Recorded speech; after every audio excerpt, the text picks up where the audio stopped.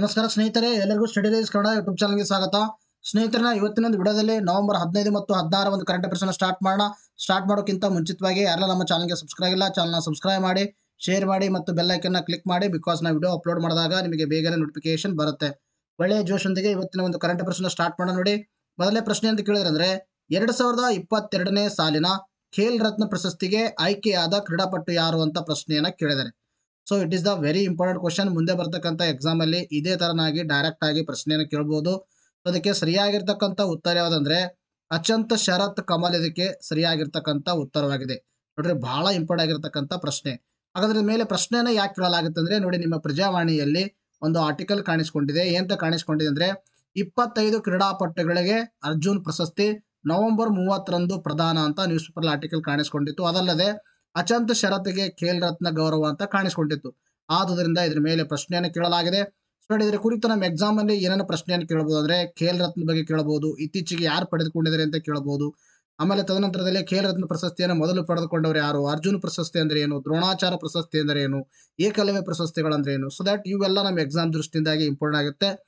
ಇವುಗಳನ್ನೆಲ್ಲ ನಾವು ಏನ್ ಮಾಡೋಣ? ಡಿಸ್ಕಷನ್ ಮಾಡ್ತಾ ಹೋಗೋಣ. ಅದಕ್ಕಿಂತ ಮುಂಚಿತವಾಗಿ ನ್ಯೂಸ್ ಕಾಂಟ್ಯಾಕ್ಸ್ ಏನಿದೆ ನೋಡೋಣ. ನೋಡ್ರಿ ಟೇಬಲ್ ಟೆನ್ನಿಸ್ ದಿಗ್ಗಜ ಆಗಿರ್ತಕ್ಕಂಥ, ದಿಗ್ಗಜ ಆಟಗಾರ ಆಗಿರ್ತಕ್ಕಂಥ ಅಚಂತ್, ಅಚಂತ ಶರತ್ ಕಮಲ್ ಅವರಿಗೆ ಕ್ರೀಡಾ ಅವರಿಗೆ ಕ್ರೀಡಾ ಕ್ಷೇತ್ರದ ಕ್ರೀಡಾ ಕ್ಷೇತ್ರದ ಸಾಧಕರಿಗೆ ನೀಡುವ ಅತ್ಯುನ್ನತ ಗೌರವ ಯಾವುದಂದ್ರೆ ಧ್ಯಾನ್ ಚಂದ್ ಖೇಲ್ ರತ್ನ ಪ್ರಶಸ್ತಿಗೆ ಭಾಜನರಾಗಿದ್ದಾರೆ. ಬಹಳ ಇಂಪಾರ್ಟೆಂಟ್ ಆಗಿರ್ತಕ್ಕಂಥ ಪ್ರಶ್ನೆ ನೋಡ್ರಿ. ಮೊದಲು ಕರಿತೀವಿ ಅಂದ್ರೆ ರಾಜೀವ್ ಗಾಂಧಿ ಖೇಲ್ ರತ್ನ ಪ್ರಶಸ್ತಿ ಅಂತ ಕರಿತಿದ್ರು ಏನ್ ನೋಡ್ರಿ, ರಾಜೀವ್ ಗಾಂಧಿ ಖೇಲ್ ರತ್ನ ಅಂತ ಕರಿತಿದ್ರು ಇವಾಗ ಏನ್ ಮಾಡಿದ್ರು ಇದನ್ನ? ಧ್ಯಾನ್ ಚಂದ್ ಖೇಲ್ ರತ್ನ ಪ್ರಶಸ್ತಿ ಅಂತ ರೀಸೆಂಟ್ ಆಗಿ ಮರುನಾಮಕರಣವನ್ನು ಮಾಡಿದ್ದಾರೆ. ಸೊ ದಟ್ ಈ ಮರುನಾಮಕರಣ ಮಾಡಿದ ಹಿನ್ನೆಲೆಯಲ್ಲಿ ಎರಡು ಸಾವಿರದ ಇಪ್ಪತ್ತ ಎರಡನೇ ಸಾಲಿನ ಧ್ಯಾನ್ ಚಂದ್ ಖೇಲ್ ರತ್ನಗೆ ಪ್ರಶಸ್ತಿಗೆ ಆಯ್ಕೆಯಾದ ಏಕೈಕ ಕ್ರೀಡಾಪಟು ಯಾರಂದ್ರೆ ಶರತ್ ಕಮಲ್ ಅವರು. ಹಾಗಾದ್ರೆ ಶರತ್ ಕಮಲ್ ಅವರು ಯಾವ ಆಟಕ್ಕೆ ಸಂಬಂಧಪಟ್ಟಿದ್ದಾರೆ ಅಂದ್ರೆ ಅವರು ಟೇಬಲ್ ಟೆನ್ನಿಸ್ ಆಟಕ್ಕೆ ಸಂಬಂಧಪಟ್ಟಿದ್ದಾರೆ. This fact is very important ಅರ್ಥ ಆಯ್ತಾ? ನೋಡಿ ನೆಕ್ಸ್ಟ್ ಏನ್ ಕೊಡ್ತಾರೆ ಅಂದ್ರೆ ಈ ವರ್ಷದ ಖೇಲ್ ರತ್ನ ಪ್ರಶಸ್ತಿಗೆ ಏಕೈಕ ಕ್ರೀಡಾಪಟು ಆಯ್ಕೆ ಮಾಡಲಾಗಿದೆ. ಬಹಳ ಇಂಪಾರ್ಟೆಂಟ್ ಆಗುತ್ತೆ. ಮುಂದೆ ಬರುತ್ತೆ ಎಕ್ಸಾಮ್ಗೆ very suitable and very important fact ನೋಡ್ರಿ ಬ್ಯಾಡ್ಮಿಂಟನ್ ಆಟಗಾರರಾಗಿರ್ತಕ್ಕಂಥ ಲಕ್ಷ್ಮಣ್ ಲಕ್ಷ್ಯ ಸೇನ ಅಂತಕ್ಕಂಥವ್ರು ಎಚ್ ಎಸ್ ಪ್ರಣಯ್ ಅಂತಕ್ಕಂಥವ್ರು, ಇನ್ನು ಮಹಿಳಾ ಬಾಕ್ಸರ್ ಆಗಿರ್ತಕ್ಕಂಥ ನಿಖತ್ ಜರೀನ್ ಅವರು ಅಥ್ಲೇಟ್ಗಳಾದ ಎಲ್ದೋಸ್ ಪಾಲ್ ಅಂತಕ್ಕಂಥವ್ರು ಮತ್ತು ತದನಂತರದಲ್ಲಿ ಸಬಳೆ ಅಂತಕ್ಕಂಥವ್ರು, ಒಳಗೊಂಡಂತೆ ಇಪ್ಪತ್ತೈದು ಮಂದಿ ಈ ಸಾಲಿನ ಅರ್ಜುನ್ ಪ್ರಶಸ್ತಿಗೆ ಆಯ್ಕೆ ಆಗಿದ್ದಾರೆ. ಅಂದ್ರೆ ಅರ್ಜುನ್ ಪ್ರಶಸ್ತಿಗೆ ಆಯ್ಕೆಯಾದವರು ಎಷ್ಟು ಜನ? ಇಪ್ಪತ್ತೈದು ಜನ. ಇನ್ನು ಧ್ಯಾನಚಂದ್ ಖೇಲ್ ರತ್ನ ಪ್ರಶಸ್ತಿಯನ್ನ ಪಡೆದುಕೊಂಡ ಏಕೈಕ ಕ್ರೀಡಾಪಟು ಯಾರಂದ್ರೆ ಶರತ್ ಕಮಲ್ ಅವರು. ಯಾವ ಆಟಕ್ಕೆ ಸಂಬಂಧಪಟ್ಟಿದ್ದಾರೆ? Table tennis. These are the important fact these are in the news context ಆದ್ದರಿಂದ ಇದರ ಮೇಲ್ಗಡೆ ಪ್ರಶ್ನೆಯನ್ನ ಕೇಳಲಾಗಿತ್ತು. ನೆಕ್ಸ್ಟ್ ನೋಡಿದ್ರ ಬಗ್ಗೆ ಹಾಗೆ ನೋಡ್ತಾ ಬಂದಾಗ, ಪ್ರಶಸ್ತಿ ಪ್ರದಾನ ಸಮಾರಂಭ ರಾಷ್ಟ್ರಪತಿ ಭವನದಲ್ಲಿ ನಡೆಯಲಿದೆ. ನವೆಂಬರ್ ಮೂವತ್ತರಂದು ಪ್ರದಾನವನ್ನು ಮಾಡಲಾಗುತ್ತೆ. ನವೆಂಬರ್ ಮೂವತ್ತು ಇದೇ ತಿಂಗಳಲ್ಲಿ. ಇನ್ನು ನೋಡ್ರಿ ದ್ರೋಣಾಚಾರ ಪ್ರಶಸ್ತಿಯನ್ನು ಪಡೆದುಕೊಂಡವ್ರು ಯಾರಂದ್ರೆ ಜೀವನ ಜ್ಯೋತಿ ಸಿಂಗ್ ತೇಜ್ ಅಂತಕ್ಕಂಥವ್ರು, ಇವರು ಆರ್ಚರಿ ಇವರಿಗೆ ನೀಡಲಾಗಿದೆ. ಇನ್ನು ಮೊಹಮ್ಮದ್ ಅಲಿ ಅಂತಕ್ಕಂಥವ್ರಿಗೆ ಇವರು ಬಾಕ್ಸಿಂಗ್ ಆಟಕ್ಕೆ ಸಂಬಂಧಪಟ್ಟಿದವರು. ಅಂದ್ರೆ ಬಾಕ್ಸಿಂಗ್ ಕೋಚರ್ ಇವರು ಇವರಿಗೆ ನೀಡಿದ್ದಾರೆ. ಇನ್ನು ಸುಮಾ ಸಿದ್ಧಾರ್ಥ ಶಿರೋರ್, ಇವರಿಗೆ ಪ್ಯಾರಾ ಶೂಟಿಂಗ್ ಸಂಬಂಧಪಟ್ಟಿರು ಇವರಿಗೆ ನೀಡಿದ್ದಾರೆ. ಇನ್ನು ಸುಜಾತ ಮಾನ್, ಇವರು ಕುಸ್ತಿ ಆಟಕ್ಕೆ ಸಂಬಂಧಪಟ್ಟಿದ್ದು ಇವರಿಗೆ ನೀಡಲಾಗಿದೆ. ನೋಡಿ, ಇವೆಲ್ಲ ಏನಂದ್ರೆ ಕ ಒಂದು ತರಬೇತಿದಾರಿಗೆ ನೀಡ್ತಕ್ಕಂಥ ಪ್ರಶಸ್ತಿ ಯಾವಂದ್ರೆ, ದ್ರೋಣಾಚಾರ ಪ್ರಶಸ್ತಿಗಳು, ಇಂಪಾರ್ಟೆಂಟ್. ಇನ್ನು ನೆಕ್ಸ್ಟ್ ನೋಡ್ರಿ ದ್ರೋಣಾಚಾರ ಜೀವಮಾನ ಸಾಧನೆ ವಿಭಾಗದಲ್ಲಿ ಪ್ರಶಸ್ತಿಯನ್ನು ಪಡೆದುಕೊಂಡವ್ರು ಯಾರಾದ್ರೆ ದಿನೇಶ್ ಲಾಡ್ ಅಂತಕ್ಕಂಥವ್ರು. ಇವರು ಕ್ರಿಕೆಟ್ಗೆ ಸಂಬಂಧಪಟ್ಟಿದ್ದಾರೆ. ತದನಂತರದಲ್ಲಿ ಬಿಮಲ್ ಅಂತಕ್ಕಂಥವ್ರು, ಇವರು ಫುಟ್ಬಾಲ್ ಆಟಕ್ಕೆ ಸಂಬಂಧಪಟ್ಟಿದ್ದಾರೆ. ಇನ್ನು ರಾಜಾ ಸಿಂಗ್ ಅಂತಕ್ಕಂಥವ್ರು ಕುಸ್ತಿ ಆಟಕ್ಕೆ ಸಂಬಂಧಪಟ್ಟಿದ್ದಾರೆ. ಇನ್ನು ಧ್ಯಾನ್ ಚಂದ್ ಪ್ರಶಸ್ತಿಯನ್ನು ಪಡೆದುಕೊಂಡವರು ಸಿ ಅಶ್ವಿನಿ ಅಂಕುಜ್ ಅಂತಕ್ಕಂಥವ್ರು. ಇವರೊಬ್ಬರು ಅಥ್ಲೆಟಿಕ್ಸ್ ಆಗಿದ್ದಾರೆ. ನೆಕ್ಸ್ಟ್ ನೋಡ್ರಿ, ಬಿ ಸುರೇಶ್ ಅಂತಕ್ಕಂಥವ್ರು ಕಬಡ್ಡಿ ಆಟಕ್ಕೆ ಸಂಬಂಧಪಟ್ಟಿದ್ದಾರೆ. ಧರ್ಮವೀರ್ ಸಿಂಗ್ ಅವರು ಹಾಕಿ ಆಟಕ್ಕೆ ಸಂಬಂಧಪಟ್ಟಿದ್ದಾರೆ. ಇನ್ನು ನೀರ್ ಬಹದ್ದೂರ್ ಇವರು ಯಾವ ಆಟಕ್ಕೆ ಪ್ಯಾರಾ ಅಥ್ಲೆಟಿಕ್ ಆಟಕ್ಕೆ ಸಂಬಂಧಪಟ್ಟಿದ್ದಾರೆ. ನೋಡ್ರಿ, ಇವೆಲ್ಲ ಬಹಳ ಇಂಪಾರ್ಟೆಂಟ್ ನಿಮ್ಮ ಎಕ್ಸಾಮ್ ಅಲ್ಲಿ ಯಾವ ತರ ಕೇಳ್ತಾರೆ ಅಂದ್ರೆ ಒಂದ್ ಕಡೆ ಕ್ರೀಡಾಪಟುಗಳು ಕೊಡ್ತಾರ, ಇನ್ನೊಂದು ಕಡೆ ಏನ್ ಮಾಡ್ತಾರೆ ಅಂದ್ರೆ ಅವರ ಆಟಗಳನ್ನ ಕೊಡ್ತಾರೆ. ಅವಾಗ ಹೊಂದಿಸಿ ಬರೀರಿ ಅಥವಾ ಯಾವುದು ಸರಿಯಾಗಿದೆ, ಯಾವುದು ಸರಿಯಾಗಿಲ್ಲ ಅಂತ ಪ್ರಶ್ನೆಗಳು ಕೇಳಿದಾಗ ಇವೆಲ್ಲ ಹೆಲ್ಪ್ ಆಗುತ್ತೆ. ಎಲ್ಲರೂ ತಲೆಯಲ್ಲಿ ಇಟ್ಕೋಬೇಕು. ಇನ್ನು ರಾಷ್ಟ್ರೀಯ ಖೇಲ್ ರತ್ ಖೇಲ್ ಪ್ರೋತ್ಸಾಹ ಪುರಸ್ಕಾರ ಬಗ್ಗೆ ನೋಡ್ರಿ. ಟ್ರಾ ಟ್ರಾನ್ಸ್ಟೇಡಿಯಾ ಎಂಟರ್ಪ್ರೈಸಸ್ ಪ್ರೈವೇಟ್ ಲಿಮಿಟೆಡ್ ಅಂತಕ್ಕಂಥದ್ದು, ಇನ್ನು Kalinga institute of industrial technology ಅಂತಕ್ಕಂಥದ್ದು Ladakh ski and snowboard association ಅಂತಕ್ಕಂಥದ್ದು. ಇವೆಲ್ಲ ಏನಂದ್ರೆ ರಾಷ್ಟ್ರೀಯ ಖೇಲ್ ಪ್ರೋತ್ಸಾಹನ ಪುರಸ್ಕಾರಕ್ಕೆ ಆಯ್ಕೆಯಾಗಿರ್ತಕ್ಕಂಥ ಒಂದು ಸಂಸ್ಥೆಗಳು. ಇಂಪಾರ್ಟೆಂಟ್ ಯಾವಂದ್ರೆ ಒಂದು ಯಾವುದಂದ್ರೆ Transstadia private limited Kalinga institute of industrial technology ಇನ್ನು ಸ್ನೋಬೋರ್ಡ್ ಅಸೋಸಿಯೇಷನ್ ಅಂತಕ್ಕಂಥದ್ದು ಆಯ್ಕೆಯಾಗಿದ್ದಾವೆ ಅಂತಕ್ಕಂಥ ಫ್ಯಾಕ್ಟ್ ಗೊತ್ತಿರಬೇಕು. ನೋಡಿ ನೆಕ್ಸ್ಟ್ ನಾವು ಜ್ಞಾನಚಂದ್ರ ಖೇಲ್ ರತ್ನ ಪ್ರಶಸ್ತಿ ಬಗ್ಗೆ ತಿಳ್ಕೊಳ್ಳೋಣ ಈಗ ಬಿಕಾಸ್ ಬಿಕಾಸ್ ಯಾಕಂದ್ರೆ ಧ್ಯಾನಚಂದ್ರ ಖೇಲ್ ರತ್ನ ಪ್ರಶಸ್ತಿಯನ್ನು ನೀಡಿದಾರಲ್ವಾ? ನೋಡ್ರಿ, ಇದನ್ನ ಸ್ಟಾರ್ಟ್ ಆಗೋದು ಹತ್ತೊಂಬತ್ ನೂರ ತೊಂಬತ್ತು, ತೊಂಬತ್ತೊಂದು. ಇದಕ್ಕೆ ಮೊದಲು ಏನು ಕರಿತಿದ್ರು? ರಾಜೀವ್ ಗಾಂಧಿ ಖೇಲ್ ರತ್ನ ಪ್ರಶಸ್ತಿ ಅಂತ ಕರಿತಿದ್ರು. ಇದನ್ನ ನೀಡುವವರು ಯಾರಂದ್ರೆ? ಭಾರತ ಸರ್ಕಾರ ವೆರಿ ಇಂಪಾರ್ಟೆಂಟ್ ಇನ್ನದರ ವಿಶೇಷತೆ ಏನಂದ್ರೆ, ಕ್ರೀಡೆಗೆ ನೀಡುವ ಅತ್ಯುನ್ನತ ಪ್ರಶಸ್ತಿಯಾಗಿದೆ. This fact is very important they may be ask in ever examination previous ಎಕ್ಸಾಮ್ಗಳಲ್ಲಿ ಪ್ರಶ್ನೆ ಕೇಳಿದರೆ, ಎಂತ ಪ್ರಶ್ನೆ ಕೇಳಿದ್ರೆ ಕ್ರೀಡೆಗೆ ನೀಡುವ ಅತ್ಯುನ್ನತ ಪ್ರಶಸ್ತಿ ಯಾವುದಂದ್ರೆ ದಟ್ ಈಸ್ ಧ್ಯಾನ್ ಚಂದ್ ಪ್ರಶಸ್ತಿ. ಅರ್ಥ ಆಯ್ತಾ? ಧ್ಯಾನ್ ಚಂದ್ ಪ್ರಶಸ್ತಿಗೆ ಮೊದಲೇನು ಕರಿತಿದ್ರು? ರಾಜೀವ್ ಗಾಂಧಿ ಖೇಲ್ ರತ್ನ ಪ್ರಶಸ್ತಿ ಅಂತ ಕರಿತಿದ್ರು. ಅದರ ಮೊದಲ ಬಾರಿಗೆ ಪಡೆದುಕೊಂಡವ್ರು ಯಾರಂದ್ರೆ ವಿಶ್ವನಾಥ್ ಆನಂದ್. ಅವ್ರು ಯಾವ ಆಟಕ್ಕೆ ಸಂಬಂಧಪಟ್ಟಿದ್ದಾರೆ? ಚೆಸ್ ಆಟಕ್ಕೆ ಸಂಬಂಧಪಟ್ಟಿದ್ದಾರೆ. ನೋಡಿ ಇದು ಆಲ್ರೆಡಿ ಎಕ್ಸಾಮ್ ಅಲ್ಲಿ ಕೇಳಿರ್ತಕ್ಕಂಥ ಪ್ರಶ್ನೆ. ಮೊಟ್ಟ ಮೊದಲನೇ ಬಾರಿಗೆ ರಾಜೀವ್ ಗಾಂಧಿ ಖೇಲ್ ರತ್ನ ಪ್ರಶಸ್ತಿಯನ್ನು ಪಡೆದುಕೊಂಡಿರ್ತಕ್ಕಂಥ ಆಟಗಾರ ಯಾರಂದ್ರೆ ವಿಶ್ವನಾಥ್ ಆನಂದ್. ಇನ್ನು ಈ ಪ್ರಶಸ್ತಿಯ ಮೊತ್ತ ಎಷ್ಟಂದ್ರೆ, ಪ್ರಶಸ್ತಿ ಮೊತ್ತ ಇಪ್ಪತ್ತೈದು ಲಕ್ಷ ರೂಪಾಯಿಗಳು. ಮೊದಲು ಇದು ಏಳು ಲಕ್ಷ ಕೊಡಲಾಗ್ತಾ ಇತ್ತು.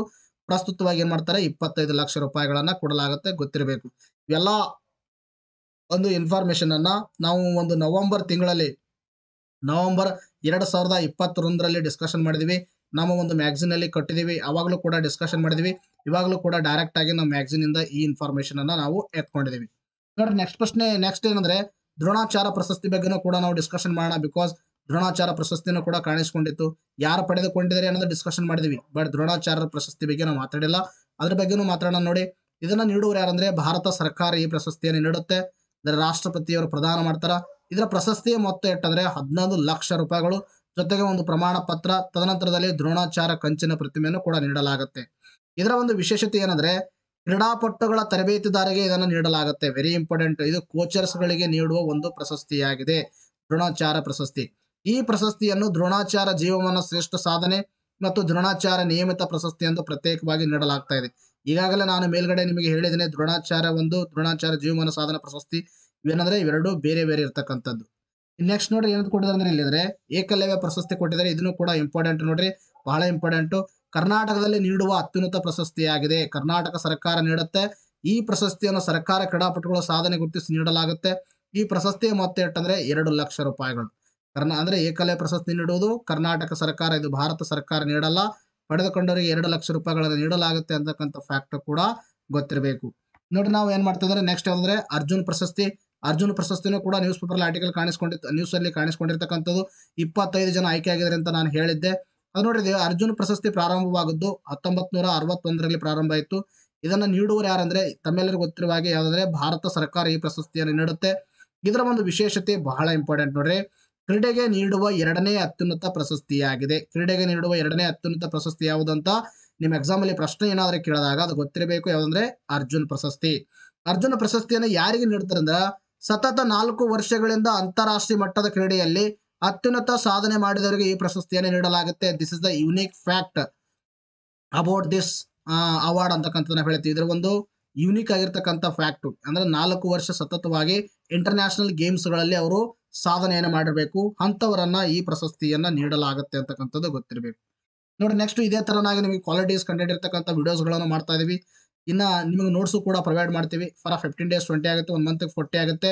From Jan to October thirty first ವರೆಗೆ ಫೋರ್ ಹಂಡ್ರೆಡ್ ಆಗುತ್ತೆ. ಡಿಸೆಂಬರ್ ಟು ಅಕ್ಟೋಬರ್ ತರ್ಟಿ ಫಸ್ಟ್ವರೆಗೆ ಫೋರ್ ಫಾರ್ಟಿ ಆಗುತ್ತೆ. ನಾವು ಮಾಡೋದೆಲ್ಲ ವಿಡಿಯೋ ನೋಟ್ಸ್ ಬೇಕಾದ್ರೆ ದಟ್ ಇಸ್ ಸಿಕ್ಸ್ ಫೋರ್ಟಿ ಆಗುತ್ತೆ. ನೀವು ಈ ನಂಬರ್ಗೆ ಫೋನ್ ಪೇ ಆಗಿರ್ಬೋದು ಗೂಗಲ್ ಪೇ ಆಗಿರ್ಬೋದು ಪೇಟಿಎಂ ಆಗೋದು ಭೀಮೆ ಪಿ ಮುಖಾಂತರ ಪೇ ಮಾಡೋದನ್ನ ವಾಟ್ಸಪ್ ಮುಖಾಂತರ ಸ್ಕ್ರೀನ್ಶಾಟ್ ಅಥವಾ ಟೆಲಿಗ್ರಾಮ್ ಮುಖಾಂತರ ಸ್ಕ್ರೀನ್ಶಾಟ್ ಕಳಿಸಿದ್ರೆ ನಾವು ಸಾಫ್ಟ್ ಫಾರ್ಮೆಟ್ ಅಲ್ಲಿ ನಿಮಗೆ ನೋಟ್ಸ್ಗಳನ್ನು ಕಳಿಸ್ಕೊಡ್ತೀವಿ. ನೆಕ್ಸ್ಟ್ ನೋಡೋಣ.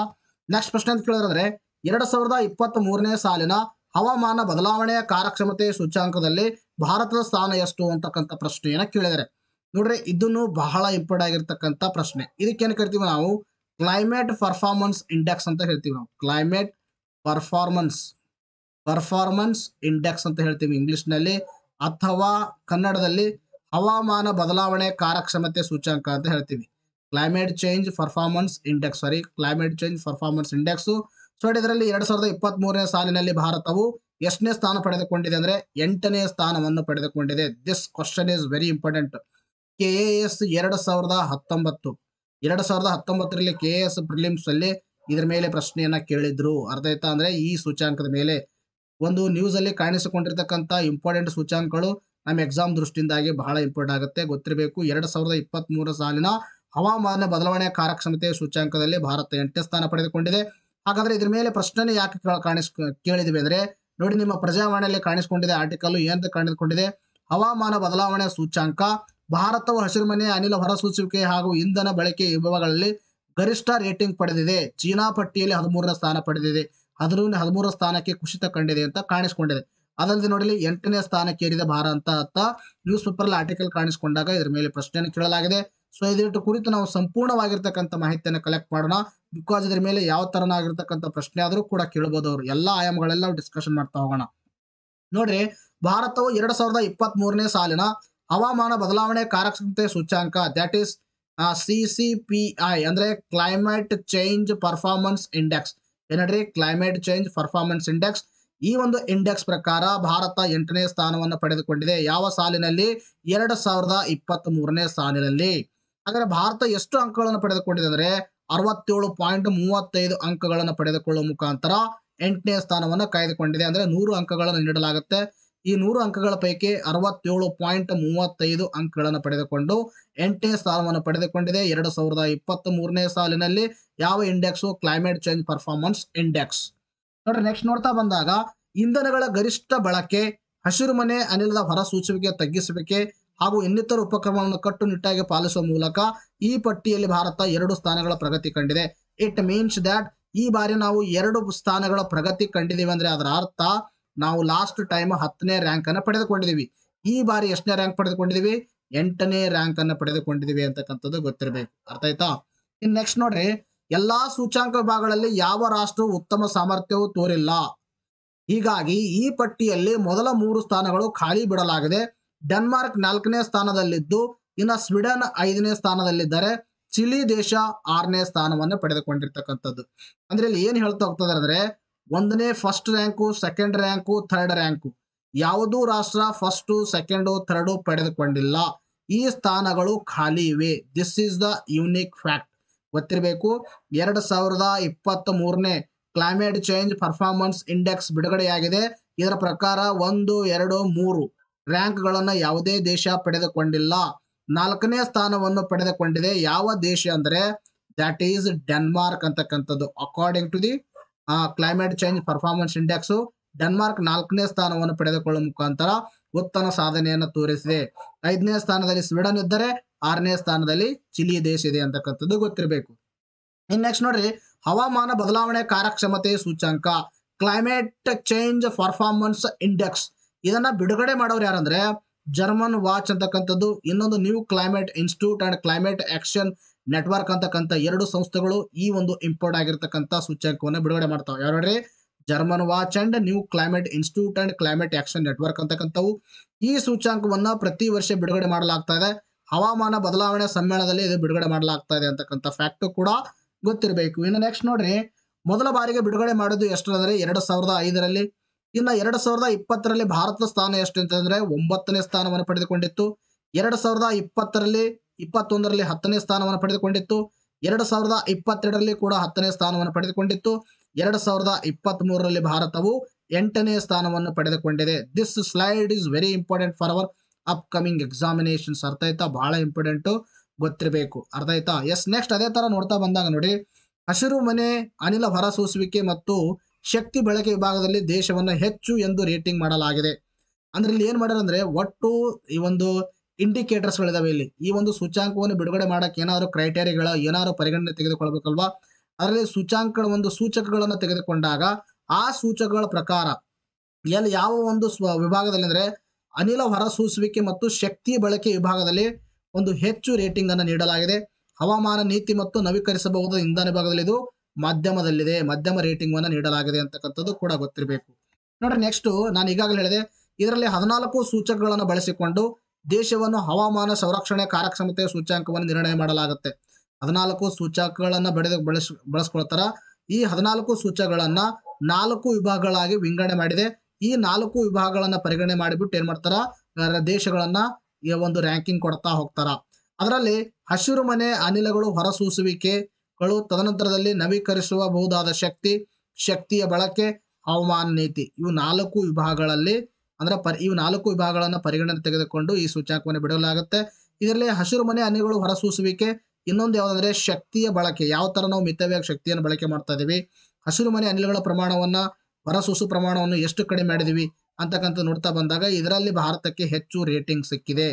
ಇನ್ನ ಮಾಧ್ಯಮ ರೇಟಿಂಗ್ ಎಲ್ಲಿ ಸಿಕ್ಕಿದೆ ಅಂದ್ರೆ ನವೀಕರಿಸಬಹುದಾದ ಶಕ್ತಿ ಇನ್ನೊಂದು ಹವಾಮಾನ ನೀತಿ. ಇದರಲ್ಲಿ ಮಧ್ಯಮ ಸ್ಥಾನವನ್ನು ಭಾರತ ಅಥವಾ ಮಧ್ಯಮ ರೇಟಿಂಗ್ ಅನ್ನು ಪಡೆದುಕೊಂಡಿದೆ. ಒಟ್ಟಾರೆಯಾಗಿ ನಾಲ್ಕು ಈ ವಿಭಾಗದಲ್ಲಿ ನಾನು ಪ್ರಗಣನೆ ತೆಗೆದುಕೊಂಡು ಈ ಸೂಚ್ಯಾಂಕವನ್ನು ಬಿಡುಗಡೆ ಮಾಡಲಾಗುತ್ತೆ ಅಂತಕ್ಕಂಥದ್ದು ಗೊತ್ತಿರಬೇಕು. ನೋಡ್ರಿ ನೆಕ್ಸ್ಟ್ ಪ್ರಶ್ನೆ ಅಂತ ಕೇಳಿದ್ರೆ ನೆಕ್ಸ್ಟ್ ಪ್ರಶ್ನೆ ಅಂತ ಕೇಳಿದ್ರೆ ಎರಡ್ ಸಾವಿರದ ಇಪ್ಪತ್ತೆರಡನೇ ಸಾಲಿನ ಇನ್ಫೋಸಿಸ್ ಪ್ರಶಸ್ತಿಗಳನ್ನ ಎಷ್ಟು ವಿಭಾಗಗಳಲ್ಲಿ ನೀಡಲಾಗುತ್ತದೆ ಅಂತಕ್ಕಂಥ ಪ್ರಶ್ನೆ ಕೇಳಿದರೆ, ಇದಕ್ಕೆ ಸರಿಯಾಗಿರ್ತಕ್ಕಂಥ ಉತ್ತರ, ಮೂರನೇ ಆಪ್ಷನ್ ಆರು ಇದಕ್ಕೆ ಸರಿಯಾಗಿರ್ತಕ್ಕಂಥ ಉತ್ತರವಾಗಿದೆ. ನೋಡಿ, ನಿಮ್ಮ ಪ್ರಜಾವಾಣಿಯಲ್ಲಿ ಕಾಣಿಸ್ಕೊಂಡಿದೆ, ಎಂತ ಕಾಣಿಸ್ಕೊಂಡಿದೆ? ಆರು ಸಾಧಕರಿಗೆ ಇನ್ಫೋಸಿಸ್ ಪ್ರಶಸ್ತಿ ಅಂತ ನ್ಯೂಸ್ ಪೇಪರ್ ಆರ್ಟಿಕಲ್ ಕಾಣಿಸ್ಕೊಂಡಿದೆ. ಆದುದರಿಂದ ಇದರ ಮೇಲೆ ಪ್ರಶ್ನೆಯನ್ನು ಕೇಳಲಾಗಿದೆ. ಬಹಳ ಇಂಪಾರ್ಟ್ ಆಗಿರ್ತಕ್ಕಂಥ ಕ್ವಶನ್ ಬಹಳ ಇಂಪಾರ್ಟ್ ಆಗಿರ್ತಕ್ಕಂಥ ಟಾಪಿಕ್ ಅಂದ್ರೆ ಆರು ವಿಭಾಗಗಳು ಆರು ವಿಭಾಗಗಳಲ್ಲಿ ಯಾರ್ಯಾರು ಪಡೆದುಕೊಂಡಿದ್ದಾರೆ, ಎಷ್ಟು ಪ್ರಶಸ್ತಿ ಮೊತ್ತವನ್ನು ನೀಡಲಾಗುತ್ತೆ ಅಂತಕ್ಕಂಥದ್ದು ಇಂಪಾರ್ಟೆಂಟ್ ಆಗುತ್ತೆ. ಅದರ ಕುರಿತು ಡಿಸ್ಕಷನ್ ಮಾಡೋಣ ನೋಡಿ. ಎರಡ್ ಸಾವಿರದ ಇಪ್ಪತ್ತೆರಡನೇ ಸಾಲಿನ ಇನ್ಫೋಸಿಸ್ ಪ್ರಶಸ್ತಿಗಳನ್ನು ಪ್ರಕಟಿಸಲಾಗಿದೆ. ಈ ಪ್ರಶಸ್ತಿಯನ್ನ ಮೊತ್ತ ಎಷ್ಟಂದ್ರೆ ಒಂದು ಚಿನ್ನದ ಪದಕ ಇರುತ್ತೆ, ಸ್ಮರಣಿಕೆ ಇರುತ್ತೆ ಮತ್ತು ಸುಮಾರು ಎಂಬತ್ತೊಂದು ಲಕ್ಷದ ಮತ್ತು ಒಂದು ಲಕ್ಷ ಡಾಲರ್ ನಗರ ಹೂವನ್ನು ನೀಡಲಾಗುತ್ತೆ. ಈ ಪ್ರಶಸ್ತಿಯನ್ನು ಪಡೆದುಕೊಂಡವರಿಗೆ ಎಂಬತ್ತೊಂದು ಲಕ್ಷ ರೂಪಾಯಿಗಳನ್ನು ಅಥವಾ ನಾವು ಏನಾದರೂ ಡಾಲರ್ ಅಲ್ಲಿ ಪರಿಗಣನೆ ತೆಗೆದುಕೊಂಡಾಗ ಒಂದು ಲಕ್ಷ ಡಾಲರ್ ಜೊತೆಗೆ ಒಂದು ಚಿನ್ನದ ಪದಕ, ಇನ್ನೊಂದು ಯಾವ್ದಂದ್ರೆ ಸ್ಮರಣಿಕೆ ಅಂತಕ್ಕಂಥದ್ದು ಕೊಡ್ತಾರ. ಒಟ್ಟು ಆರು ವಿಭಾಗದಲ್ಲಿ ಪ್ರಶಸ್ತಿಯನ್ನು ನೀಡಲಾಗುತ್ತೆ. ಈ ಆರು ವಿಭಾಗದಲ್ಲಿ ಯಾರ್ಯಾರು ಪಡೆದುಕೊಂಡಿದ್ದಾರೆ ಅಂತಕ್ಕಂಥದ್ದು ಇಂಪಾರ್ಟೆಂಟ್ ನೋಡ್ರಿ ಇಂಜಿನಿಯರಿಂಗ್ ಮತ್ತು ಕಂಪ್ಯೂಟರ್ ವಿಭಾಗದಲ್ಲಿ ಪಡೆದುಕೊಂಡವ್ರು ಯಾರಂದ್ರೆ ಸುಮನ್ ಚಕ್ರವರ್ತಿ ಅಂತಕ್ಕಂಥವ್ರು ಪಡೆದುಕೊಂಡಿದ್ದಾರೆ. ಇನ್ನು ಗಣಿತ ವಿಜ್ಞಾನ ವಿಭಾಗದಲ್ಲಿ ಯಾರು ಪಡೆದುಕೊಂಡಿದ್ದಾರೆ? ಮಹೇಶ್ ಕಾಕಡೆ ಅಂತಕ್ಕಂಥವ್ರು ಪಡೆದುಕೊಂಡಿದ್ದಾರೆ. ಮಾನವಿಕ ವಿಭಾಗದಲ್ಲಿ ಯಾರು ಪಡೆದುಕೊಂಡಿದ್ದಾರೆ? ಸುಧೀರ್ ಕೃಷ್ಣಸ್ವಾಮಿ ಅಂತಕ್ಕಂಥವ್ರು ಪಡೆದುಕೊಂಡಿದ್ದಾರೆ. ಇನ್ನು ಭೌತ ವಿಜ್ಞಾನದಲ್ಲಿ ಯಾರಂದ್ರೆ? ನಿಶಿಮ್ ಕಾನೇಕರ್ ಅಂತಕ್ಕಂಥವ್ರು ಪಡೆದುಕೊಂಡಿದ್ದಾರೆ. ಇನ್ನು ಸಮಾಜ ವಿಜ್ಞಾನದಲ್ಲಿ ರೋಹಿಣಿ ಪಾಂಡೆ ಅಂತಕ್ಕಂಥವ್ರು ಪಡೆದುಕೊಂಡಿದ್ದಾರೆ. ಇನ್ನು ಜೀವ ವಿಜ್ಞಾನ ವಿಭಾಗದಲ್ಲಿ ವಿದಿತಾ ವೈದ್ಯ ಅಂತಕ್ಕಂಥವ್ರು ಪಡೆದುಕೊಂಡಿದ್ದಾರೆ. ಒಟ್ಟಾರೆಯಾಗಿ ಇನ್ಫೋಸಿಸ್ ಅಂತಕ್ಕಂಥ ಪ್ರಶಸ್ತಿಯನ್ನು ಕೊಡಲಾಗ್ತದೆ. ಈ ಒಂದು ಪ್ರಶಸ್ತಿಯಲ್ಲಿ ಆರು ಜನ ಪಡೆದುಕೊಂಡಿದ್ದಾರೆ. ಆರು ಭಾಗದಲ್ಲಿ ಪ್ರಶಸ್ತಿಯನ್ನು ನೀಡಲಾಗುತ್ತೆ. ಎಂಬತ್ತೊಂದು ಲಕ್ಷ ರೂಪಾಯಿಗಳ ಜೊತೆಗೆ ಒಂದು ಚಿನ್ನದ ಪದಕ, ಒಂದು ಸ್ಮರಣಿಕೆಯನ್ನು ನೀಡಲಾಗುತ್ತೆ ಅಂತಕ್ಕಂಥ ಫ್ಯಾಕ್ಟ್ ಗೊತ್ತಿರಬೇಕು. ಎಸ್, ನಾವು ನೆಕ್ಸ್ಟ್ ನೋಡೋಣ.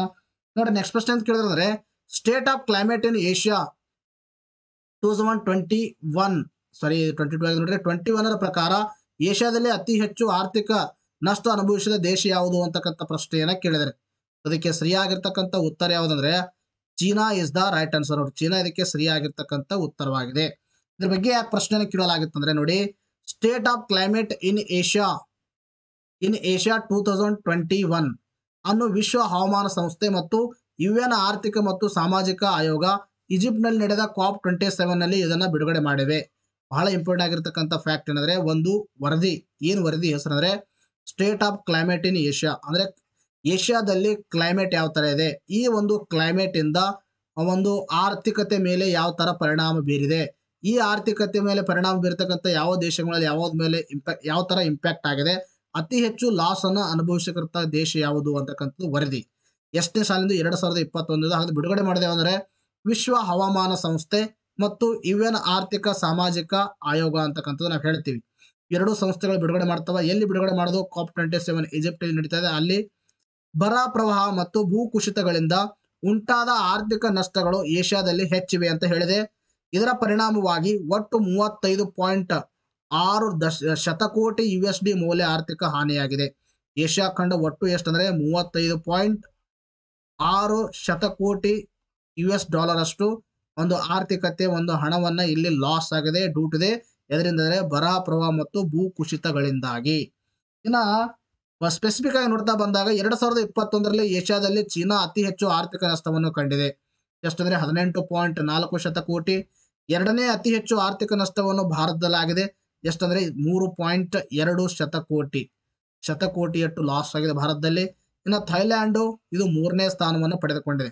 ಅಂದ್ರೆ ಮೂರನೇ ಅತಿ ಹೆಚ್ಚು ಲಾಸ್ ಆಗಿರ್ತಕ್ಕಂಥ ದೇಶ ಯಾವುದಂದ್ರೆ ಥೈಲ್ಯಾಂಡ್ ಅಂತಕ್ಕಂಥದ್ದು. ಸಿಂಪಲ್ ಆಗಿ ಗೊತ್ತಿರಬೇಕು. ಏನಂದ್ರೆ climate state of climate in Asia two thousand twenty one ವರದಿಯನ್ನು ಬಿಡುಗಡೆ ಮಾಡೋದು ವರ್ಲ್ಡ್ ಮೆಟ್ರೋಲಾಜಿಕಲ್ ಆರ್ಗನೈಸೇಷನ್ ಇನ್ನೊಂದು ವಿಶ್ವಸಂಸ್ಥೆ ಆರ್ಥಿಕ ಮತ್ತು ಸಾಮಾಜಿಕ ಕೌನ್ಸಿಲ್ ಅಂತಕ್ಕಂಥದ್ದು. ಎರಡು ಸಂಸ್ಥೆಗಳು ಬಿಡುಗಡೆ ಮಾಡ್ತವೆ. ಇದರ ಪ್ರಕಾರ ಏಷ್ಯಾದಲ್ಲಿ ಅತಿ ಹೆಚ್ಚು ಒಂದು ಆರ್ಥಿಕ ನಷ್ಟ ಆಗಿರ್ತ ಅನುಭವಿಸಿರ್ತಕ್ಕಂಥ ದೇಶ ಅಂದರೆ ಯಾವಂದ್ರೆ ಚೀನಾ. ಚೀನಾದ ಮೇಲೆ ಎಷ್ಟನೇ ಸ್ಥಾನದಲ್ಲಿ ಭಾರತ ಭಾರತ ಆದ್ಮೇಲೆ ಥೈಲ್ಯಾಂಡ್ ಮೂರನೇ ಸ್ಥಾನವನ್ನು ಆಕ್ರಮಿಸಿದೆ. ನೋಡ್ರಿ, ವಿಶ್ವ ಹವಾಮಾನ ಸಂಸ್ಥೆ ಬಗ್ಗೆ ಮಾತಾಡ್ತಾ ಬಂದಾಗ ವರ್ಲ್ಡ್ ಮೆಟ್ರೋಲಾಜಿಕಲ್ ಆರ್ಗನೈಸೇಷನ್ ಅಂತ ಕರಿತೀವಿ. ಇದರ ಒಂದು ಒಂದು ವಿಶ್ವಸಂಸ್ಥೆ ಒಂದು ವಿಶೇಷ ಸಂಸ್ಥೆಯಾಗಿದೆ.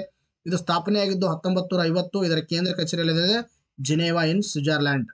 ಅರ್ಥ ಆಯ್ತಾ? ಇನ್ ನೆಕ್ಸ್ಟ್ ನೋಡ್ರಿ ಯಾವ್ದಂದ್ರೆ United Nations economic and social council ಅಂತ ಹೇಳ್ತೀವಿ. ನಾನು ಈಗೇನು ಹೇಳಿದೆ ನಿಮಗೆ? W world meteorological organization I'm sorry world meteorological organization W M O ಮತ್ತು United Nations notions economic social and social social council ಅಂತ ಹೇಳ್ತೀವಿ ನಾವು. ಎಕನಾಮಿಕ್ ಅಂಡ್ ಸೋಷಿಯಲ್ ಕೌನ್ಸಿಲ್ ಇವೆರಡು ಸಂಸ್ಥೆಗಳು ಏನು ಮಾಡ್ತಾವ? ಈ ಒಂದು ಸೂಚ್ಯಾಂಕವನ್ನು ಬಿಡು ವರದಿಯನ್ನು ಬಿಡುಗಡೆ ಮಾಡ್ತಾವ. ವಿಶ್ವಸಂಸ್ಥೆಯ ಪ್ರಮುಖ ಆರು ಅಂಗಗಳಲ್ಲಿ ಇದು ಒಂದಾಗಿದೆ. ಯಾವುದಂದ್ರೆ United Nation economic and social council ಅಂತಕ್ಕಂಥದ್ದು. ಇದರ ಕೇಂದ್ರ ಕಚೇರಿಯಲ್ಲಿದೆ ನ್ಯೂಯಾರ್ಕ್ನಲ್ಲಿದೆ ಸ್ಥಾಪನೆ ಹತ್ತೊಂಬತ್ತು ನೂರ ನಲವತ್ತೈದು. ಸದಸ್ಯ ರಾಷ್ಟ್ರಗಳ ಸಂಖ್ಯೆ ಐವತ್ನಾಲ್ಕು.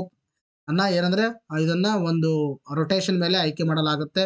ಎಷ್ಟಂದ್ರೆ ಐವತ್ನಾಲ್ಕು. ಯಾವ ಅಂದ್ರೆ ಯುನೈಟೆಡ್ ನೇಷನ್ ಒಂದು ಸದಸ್ಯ ರಾಷ್ಟ್ರಗಳು. ಗೊತ್ತಿರಬೇಕು. ಬಹಳ ಇಂಪಾರ್ಟ್ ಆಗಿರ್ತಕ್ಕಂಥ fact.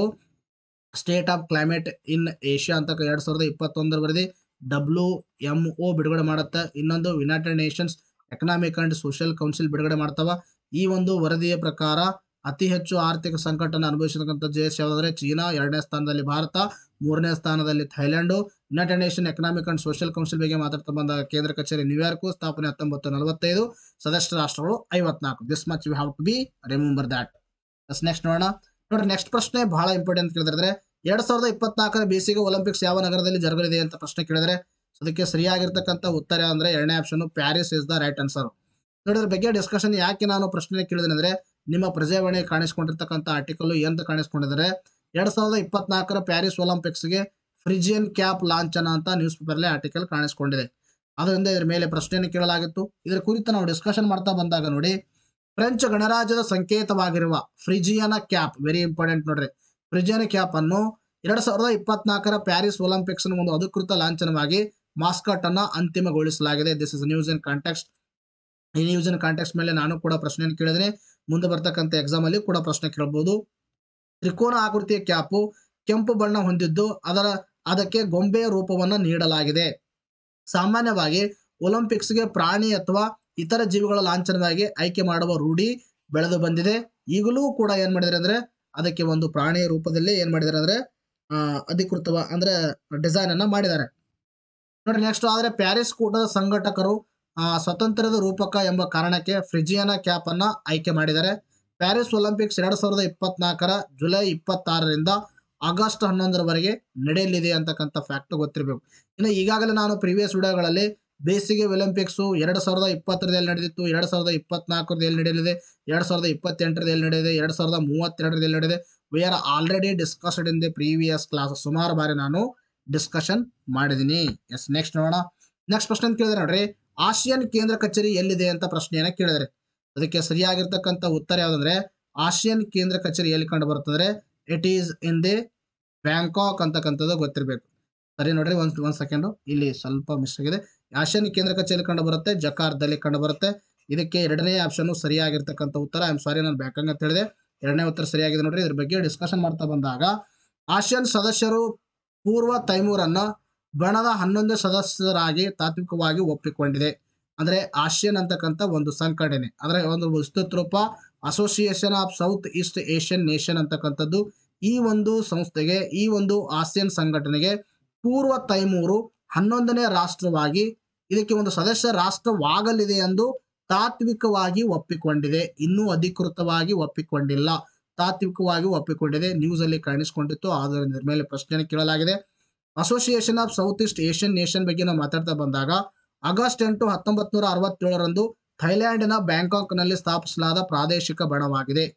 ಅಂದರೆ ಬ್ಯಾಂಕಾಕ್ ಡಿಕ್ಲರೇಷನ್ ಮುಖಾಂತರ ಸ್ಥಾಪನೆ ಆಗುತ್ತೆ. ಹತ್ತೊಂಬತ್ತು ನೂರ ಅರವತ್ತೇಳರಲ್ಲಿ ಇದರ ಒಂದು ಕೇಂದ್ರ ಕಚೇರಿಯಲ್ಲಿ ಕಂಡು ಬರ್ತದೆ ಜಕಾರ್ತಲ್ಲಿ ಕಂಡು ಬರುತ್ತೆ. ಜಕಾರ್ತೆಯಲ್ಲಿದೆ ಇಂಡೋನೇಷಿಯಾ. ವೆರಿ ಇಂಪಾರ್ಟೆಂಟ್ ಇನ್ನ ಇದರ ಒಂದು ಸದಸ್ಯ ರಾಷ್ಟ್ರಗಳ ಬಗ್ಗೆ ಮಾತಾಡ್ತಾ ಬಂದಾಗ ನೋಡ್ರಿ. Brunei, Cambodia, Indonesia, Laos, Malaysia, Myanmar Philippines Singapore Thailand and Vietnam. ಇದರ ಒಂದು ಸದಸ್ಯ ರಾಷ್ಟ್ರಗಳು ಬಹಳ ಇಂಪಾರ್ಟೆಂಟು ಸುಮಾರು ಬಾರಿ ನಿಮ್ಮ ಎಕ್ಸಾಮ್ ಅಲ್ಲಿ ಪ್ರಶ್ನೆಗಳನ್ನ ಕೇಳಿದೆ. ಅರ್ಥ ಆಯ್ತಾ Brunei, Cambodia, Indonesia, Laos, Malaysia, Myanmar Philippines Singapore Thailand Vietnam.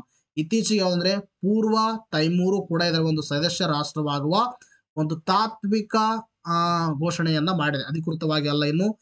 ಇದರ ಸಭೆಗಳ ಬಗ್ಗೆ ಮಾತಾಡ್ತಾ ಬಂದಾಗ ಎರಡ್ ಸಾವಿರದ ಹತ್ತೊಂಬತ್ತು ಥೈಲ್ಯಾಂಡ್ದಲ್ಲಿ ಎರಡ್ ಸಾವಿರದ ಇಪ್ಪತ್ತರದು ವಿಯತ್ನಾಂದಲ್ಲಿ ನಡೆದಿತ್ತು. ಎರಡ್ ಸಾವಿರದ ಇಪ್ಪತ್ತೊಂದು ಬ್ರುನೈದಲ್ಲಿ, ಇನ್ನು ಎರಡ್ ಸಾವಿರದ ಇಪ್ಪತ್ತೆರಡರದು ಕಾಂಬೋಡಿಯಾದಲ್ಲಿ ನಡೆದಿದೆ ಅಂತಕ್ಕಂಥದ್ದು ಗೊತ್ತಿರಬೇಕು. ಬಹಳ ಇಂಪಾರ್ಟೆಂಟ್ ಆಗಿರ್ತಕ್ಕಂಥ ಫ್ಯಾಕ್ಟ್ಸ್ಗಳು. ಜಸ್ಟ್ ಇಷ್ಟು ಏನಂದ್ರೆ ಒಂದು ತೈಮೂರು ತಾತ್ವಿಕ ನಿಲುವನ್ನು ತೋರಿಸಿತ್ತು ಅಂತಕ್ಕಂಥ ಕಾರಣದಿಂದಾಗಿ ಇದರ ಬಗ್ಗೆ ಸಂಪೂರ್ಣವಾಗಿರ್ತಕ್ಕಂಥ ಮಾಹಿತಿಯನ್ನು ನಾವು ನೀಡಿದ್ವಿ. ಆದುದರಿಂದ ನಿಮಗೆ ನಾವು ಏನ್ ಮಾಡ್ತಾ ಇದ್ದೇವೆ ಅಂದ್ರೆ, ಈ ತರನಾಗಿ ಹಿನ್ನೆಲೆ ಮತ್ತು ನ್ಯೂಸ್ ಕಾಂಟೆಕ್ಸ್ಟ್ ಎಲ್ಲವನ್ನು ಓದೋದ್ರಿಂದ ಎಕ್ಸಾಮ್ ದೃಷ್ಟಿಯಿಂದಾಗಿ ಎಲ್ಲವನ್ನ ಕವರ್ ಆಗುತ್ತೆ. ಈಗಾಗಲೇ ನಾನು ಪ್ರೀವಿಯಸ್ ವಿಡಿಯೋಗಳಲ್ಲಿ ತೋರಿಸಿದ್ದೀನಿ, ಯಾವ ತರ ಪ್ರಶ್ನೆ ಬಂದಿದ್ದು, ನಮ್ಮ ಮ್ಯಾಗ್ಝಿನಲ್ಲಿ ಕೂಡ ನಾವು ಯಾವ ತರ ಕವರ್ ಮಾಡಿದ್ವಿ, ಎಷ್ಟೊಂದು ಹೆಲ್ಪ್ ಆಗಿದೆ ಅಂತ ಪ್ರೀ ಕೋಚಿಂಗ್ ಎಕ್ಸಾಮ್ ಅಲ್ಲಿ ಅದನ್ನ ನಿಮಗೆ ಪ್ರೂಫ್ ಸಮೇತ ನಾನು ಈಗಾಗಲೇ ತೋರಿಸಿದ್ದೀನಿ. ಹದಿನೈದು ಒಂದು ಕರೆಂಟ್ ಅಫೇರ್ಸ್ ಅನ್ನ ನೋಡಬಹುದು ನೀವು. ಅದರ ಒಂದು ಹೆಡ್ಡಿಂಗ್ ಇದೆ, ಆ ವಿಡಿಯೋದ ಮೇಲೆ ಇರೋದ್ರೆ fifteenth current affairs with free coaching analyse question paper analysis ಅಂತ ವಿಡಿಯೋನ ಮಾಡಿದೀವಿ. ಆ ವಿಡಿಯೋನ ನೀವು ವೀಕ್ಷಣೆಯನ್ನ ಮಾಡಬಹುದು ನೋಡಿ ನೆಕ್ಸ್ಟ್ ಪ್ರಶ್ನೆ ಅಂತ ಕೇಳಿದ್ರೆ ಎರಡ್ ಸಾವಿರದ ಇಪ್ಪತ್ತೆರಡರ ಜಿ ಟ್ವೆಂಟಿ ಶೃಂಗಸಭೆ ಅಧ್ಯಕ್ಷತೆ ವಹಿಸಿದ ದೇಶ ಯಾವುದು ಅಂತ ಪ್ರಶ್ನೆ ಕೇಳಿದ್ರೆ ಅದಕ್ಕೆ ಸರಿಯಾಗಿರ್ತಕ್ಕಂಥ ಉತ್ತರ, ಎರಡನೇ option Indonesia is the right answer ಬಹಳ ಇಂಪಾರ್ಟೆಂಟ್ ಆಗಿರ್ತಕ್ಕಂಥ ಪ್ರಶ್ನೆ. ಆಲ್ರೆಡಿ ನಾನು ಜಿ ಟ್ವೆಂಟಿ ಬಗ್ಗೆ ಸಂಪೂರ್ಣವಾಗಿರ್ತಕ್ಕಂಥ ಮಾಹಿತಿಯನ್ನು ನಿಮಗೆ ನೀಡಿದ್ದೀನಿ ಬಟ್ ಇದ್ರ ಬಗ್ಗೆ ಕೆಲವೊಂದು ಇಂಪಾರ್ಟೆಂಟ್ ಆಗಿರ್ತಕ್ಕಂಥ ಫ್ಯಾಕ್ಟ್ಸ್ಗಳು ನೋಡ್ತಾ ಹೋಗೋಣ ನೋಡಿ. ಎರಡ್ ಸಾವಿರದ ಇಪ್ಪತ್ತೆರಡರ ಜಿ ಟ್ವೆಂಟಿ ಶೃಂಗಸಭೆಯು ನವೆಂಬರ್ ಹದಿನೈದು, ಹದಿನಾರರಂದು ಇಂಡೋನೇಷ್ಯಾದ ಬಾಲಿಯ ನುಸಾ, ಬಾಲಿಯ ಒಂದು ನುಸಾ ದುವಾದಲ್ಲಿ ನಡೆಯಿತು. ಬಹಳ ಇಂಪಾರ್ಟೆಂಟ್ ಬಹಳ ಇಂಪಾರ್ಟೆಂಟ್ ಅರ್ಥ ಆಯ್ತಾ? ಎರಡ್ ಸಾವಿರದ ಇಪ್ಪತ್ತೆರಡನೇ ಸಾಲ ಜಿ ಶೃಂಗಸಭೆ ಎಲ್ಲಿ ನಡೆದಿತ್ತು ಅಂದ್ರೆ ಇಂಡೋನೇಷ್ಯಾದಲ್ಲಿ ನಡೆದಿತ್ತು. ಇಂಡೋನೇಷ್ಯಾದ ಬಾಲಿ ಯಾವ್ದಂದ್ರೆ ನುಸುವಾ ದುವಾದಲ್ಲಿ ನಡೆಸಲಾಗಿತ್ತು ಅಂತಕ್ಕಂಥ ಗೊತ್ತಿರಬೇಕು.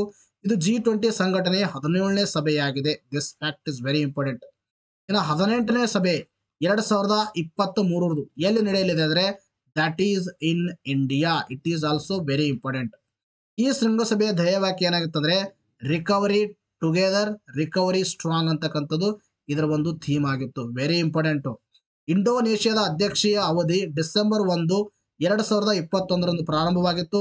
ನವೆಂಬರ್ ಹದಿನಾರು, ಎರಡ್ ಸಾವಿರದ ಇಪ್ಪತ್ತೆರಡರಂದು ಕೊನೆಗೊಳ್ಳಲಿದೆ. ಇನ್ನು ನೆಕ್ಸ್ಟ್ ಡಿಸೆಂಬರ್ ಒಂದು, ಎರಡು ಸಾವಿರದ ಇಪ್ಪತ್ತ ಒಂದರಿಂದ ಸಾರಿ ಎರಡ್ ಸಾವಿರದ ಇಪ್ಪತ್ತ ಎರಡರಿಂದ ನೆಕ್ಸ್ಟ್ ಇಯರ್ ವರೆಗೆ ಭಾರತ ಇದರ ಅಧ್ಯಕ್ಷತೆಯನ್ನು ವಹಿಸಿಕೊಳ್ಳಲಿದೆ. ಎರಡ್ ಸಾವಿರದ ಇಪ್ಪತ್ತ್ ಮೂರರವರೆಗೆ ಅದೇ ಇದನ್ನು ಕೂಡ ಗೊತ್ತಿರಬೇಕು. ನೋಡಿ ನೆಕ್ಸ್ಟ್ ಪ್ರಶ್ನೆ ನೆಕ್ಸ್ಟ್ ಫ್ಯಾಕ್ಟ್ ಅಂತ ಕೊಡ್ತಾರೆ ಭಾರತವು ಡಿಸೆಂಬರ್ ಒಂದು, ಎರಡ್ ಸಾವಿರದ ಇಪ್ಪತ್ತೆರಡರು ಅಧ್ಯಕ್ಷ ಸ್ಥಾನವನ್ನು ವಹಿಸಿಕೊಳ್ಳಲಿದೆ. ನಾನು ಈಗಾಗಲೇ ಹೇಳಿದಿನಿ. ಭಾರತವು ಆಯೋಜಿಸಲಿರುವ ಜಿ ಟ್ವೆಂಟಿ ಶೃಂಗಸಭೆಯ ಥೀಮ್ ಏನಂದ್ರೆ, ಒಂದು ಭೂಮಿ ಒಂದು ಭೂಮಿ, ಒಂದು ಕುಟುಂಬ, ಒಂದು ಭವಿಷ್ಯ. ಸಾರಿ ನೆಕ್ಸ್ಟ್ ಭಾರತ ಏನಿದೆ ಒಂದು ಅಧ್ಯಕ್ಷ ಸ್ಥಾನ ವಹಿಸಿಕೊಳ್ತಾರೆ ನೋಡ್ರಿ. ಅದರ ಥೀಮ್ ಏನಂದ್ರೆ ಒಂದು ಭೂಮಿ, ಒಂದು ಕುಟುಂಬ, ಒಂದು ಭವಿಷ್ಯ. ಇದು ಭಾರತ ಮತ್ತು ಸನಾತನ ದೈವ ದೇಯ ಒಂದು ಧ್ಯೇಯವಾಕ್ಯ ಅಂದ್ರೆ ವಸುದೈವ ಕುಟುಂಬಕಂ ಅಂತಕ್ಕಂಥದ್ದು. ಇದು ವಸುದೈವ ಕುಟುಂಬಕ ಅಂದ್ರೆ ಇದರ ಅರ್ಥ ಒಂದು ಭೂಮಿ, ಒಂದು ಕುಟುಂಬ, ಒಂದು ಭವಿಷ್ಯ. ಎರಡ್ ಸಾವಿರದ ಇಪ್ಪತ್ತ್ ಮೂರರಲ್ಲಿ ಅಂದ್ರೆ ಡಿಸೆಂಬರ್ ಒಂದು ಎರಡ್ ಸಾವಿರದ ಇಪ್ಪತ್ತೆರಡರಿಂದ ಎರಡ್ ಸಾವಿರದ ಇಪ್ಪತ್ತ್ ಮೂರರ ಭಾರತ ಅಧ್ಯಕ್ಷತೆ ಸ್ಥಾನ ವಹಿಸಿಕೊಳ್ಳಲಿದೆ. ಈ ಅಧ್ಯಕ್ಷತೆ ಸ್ಥಾನ ವಹಿಸಿಕೊಳ್ಳಲು ಭಾರತದ ಒಂದು ಥೀಮ್ ಏನಾಗಿದೆ ಅಂದ್ರೆ ಒಂದು ಭೂಮಿ, ಒಂದು ಕುಟುಂಬ, ಒಂದು ಭವಿಷ್ಯ ಅಥವಾ ವಸುದೈವ ಕುಟುಂಬಕಂ. ಇಂಡೋನೇಷ್ಯಾದಲ್ಲಿ ನಡೆದಿರ್ತಕ್ಕಂಥ ಈ ಒಂದು ಸಭೆಯ ಒಂದು ಥೀಮ್ ಏನಾಗುತ್ತೆ ಅಂದ್ರೆ ರಿಕವರಿ ಟುಗೆದರ್ ರಿಕವರಿ ಸ್ಟ್ರಾಂಗರ್ ಅಂತಕ್ಕಂಥದ್ದು ಆಗಿತ್ತು ಅಂತಕ್ಕಂಥ ಫ್ಯಾಕ್ಟ್ ಗೊತ್ತಿರಬೇಕು. ನೋಡಿ ನೆಕ್ಸ್ಟ್ ಪ್ರಶ್ನೆ ಅಂತ ಕೇಳಿ ನೆಕ್ಸ್ಟ್ ಏನಿದೆ? ಒನ್ಲೈನ್ಸ್ ಇದಾವೆ. ಮೊದಲನೇ ಪ್ರಶ್ನೆ, ಯಾವ ಭಾರತೀಯ ಸಶಸ್ತ್ರ ಪಡೆ ಪ್ರಸ್ಥಾನ ರಚನಾತ್ಮಕ ವ್ಯಾಯಾಮವನ್ನು ನಡೆಸುತ್ತಿದ್ದಾರೆ ಭಾರತೀಯ ನೌಕಾಪಡೆ. ಹವಾಮಾನ ಬದಲಾವಣೆ ಕಾರ್ಯಕ್ಷಮತೆ ಸೂಚ್ಯಂಕದ ಪ್ರಕಾರ, ಹವಾಮಾನ ತಗ್ಗಿಸುವಲ್ಲಿ ಯಾವ ದೇಶವು ಮುಂಚೂಣಿಯಲ್ಲಿದೆ that is Denmark very important next ಪ್ರಶ್ನೆ ನೋಡ್ರಿ. ಭಾರತವು ಇತ್ತೀಚೆಗೆ ಯಾವ ಬ್ಲಾಕ್ನ ವಿಜ್ಞಾನ ಮತ್ತು ತಂತ್ರಜ್ಞಾನ ನಿಧಿಗೆ ಯು ಎಸ್ ಡಿ ಐದು ಮಿಲಿಯನ್ ಕೊಡುಗೆಯನ್ನು ಘೋಷಿಸ್ತಾರೆ ದ್ಯಾಟ್ ಇಸ್ ಆಸಿಯನ್ ನೆಕ್ಸ್ಟ್ ಪ್ರಶ್ನೆ, ರಾಷ್ಟ್ರೀಯ ಹೈಡ್ರೋಜನ್ ಮಿಷನ್ ಅನ್ನು ಯಾವಾಗ ಪ್ರಾರಂಭಿಸಲಾಯಿತು ಅಂತ ಪ್ರಶ್ನೆ ಕೇಳಿದರೆ ಎರಡ್ ಸಾವಿರದ ಇಪ್ಪತ್ತೊಂದು. ಐವತ್ತ್ ಮೂರನೇ ಆವೃತ್ತಿಯ ಅಂತಾರಾಷ್ಟ್ರೀಯ ಚಲನಚಿತ್ರೋತ್ಸವ ಅತಿಶ್ರೇಷ್ಠ ದೇ, ರಾಜ್ಯ ಯಾವುದಂದ್ರೆ? ದಟ್ ಇಸ್ ಗೋವಾ ಅಂತಕ್ಕಂಥ ಫ್ಯಾಕ್ಟ್ ಗೊತ್ತಿರಬೇಕು. ನೆಕ್ಸ್ಟ್ ನೋಡ್ರಿ. ಭಾರತೀಯ ಒಲಿಂಪಿಕ್ ಸಮಿತಿ ಅಥ್ಲೆಟ್ಗಳ ಆಯೋಗದ ಅಧ್ಯಕ್ಷರಾಗಿ ಯಾರನ್ನು ನೇಮಕೊಂಡಿದೆ ನೇಮಕೊಂಡಿದ್ದಾರೆ ಅಂತಕ್ಕಂಥ ಕೇಳಿದ್ರೆ Mary Kom is the right answer ಇನ್ನು ಯಾವ ವರ್ಷಕ್ಕೆ ಭಾರತವು ಚೀನಾಕ್ಕೆ ಜನಸಂಖ್ಯೆಯಲ್ಲಿ ಮೀರಿಸಲಿದೆ ಅಂದ್ರೆ ದಟ್ ಇಸ್ ಎರಡು ಸಾವಿರದ ಇಪ್ಪತ್ತ್ ಮೂರು ಆಲ್ರೆಡಿ ಇದರ ಬಗ್ಗೆ ಸಂಪೂರ್ಣವಾಗಿರ್ತಕ್ಕಂಥ ಮಾಹಿತಿಯನ್ನು ನೀಡಿದೆ ವಿಶ್ವ ಜನಸಂಖ್ಯೆ ನಿರೀಕ್ಷೆಗಳು ಎರಡು ಸಾವಿರದ ಇಪ್ಪತ್ತೆರಡರ ಪ್ರಕಾರ ನವೆಂಬರ್ ಎರಡು ಸಾವಿರದ ಇಪ್ಪತ್ತೆರಡರಂತೆ ವಿಶ್ವದ ಜನಸಂಖ್ಯೆ ಎಷ್ಟಂದ್ರೆ ಎಂಟು ಮಿಲಿಯನ್. ನೋಡ್ರಿ ವಿಶ್ವದ ಜನಸಂಖ್ಯೆ ಎಷ್ಟಾಗಲಿದೆ? ಇತ್ತೀಚೆಗೆ ಯುನೈಟೆಡ್ ನೇಷನ್ ಯಾವುದಂದ್ರೆ ಜನಸಂಖ್ಯಾ ನಿಧಿ ಅಂತಕ್ಕಂಥ ಒಂದು ವರದಿ ಕೊಟ್ಟಿತ್ತು. ಆ ವರದಿ ಸಂಪೂರ್ಣವಾಗಿ ನಾವು ಮಾಹಿತಿ ಕೊಟ್ಟಿದ್ದೀನಿ ಅದರಲ್ಲಿ ಇವೆರಡೂ ಫ್ಯಾಕ್ಟ್ಸ್ಗಳು ಕೂಡ ಕವರ್ ಆಗಿತ್ತು. ಮತ್ತೆ ಅವುಗಳ ಮೇಲೆ ಒನ್ ಲೈನ್ಸ್ ಕೂಡ ಇಲ್ಲಿ ಕೇಳಲಾಗಿದೆ. ಸೊ ದಟ್ ಇವತ್ತಿಗೆ ಮುಗಿಸೋಣ. ಮತ್ತೆ ಮುಂದಿನ ವಿಡಿಯೋದಲ್ಲಿ ಭೇಟಿಯಾಗೋಣ. Thank you friends. Take care. Bye bye.